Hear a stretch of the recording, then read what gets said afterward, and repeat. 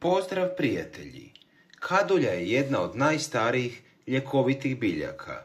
Ona svoju primjenu pronalazi i u uklanjanju gljivica na noktima i nogama.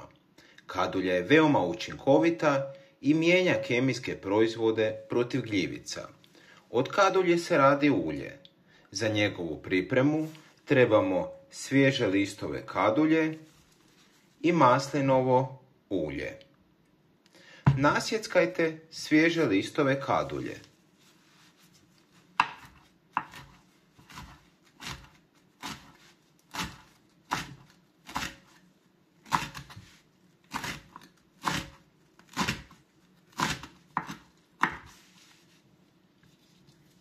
Stavite ih u manju staklenku.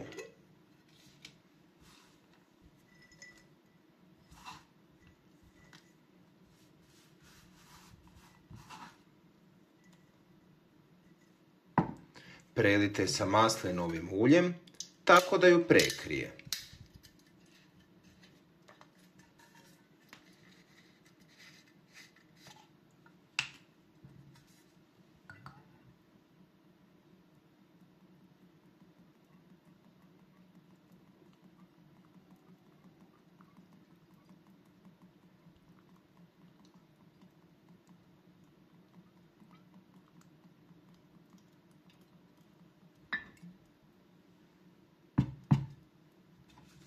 Ostavite zatvoren na suncu kroz mjesec dana uz povremeno protresanje staklenke.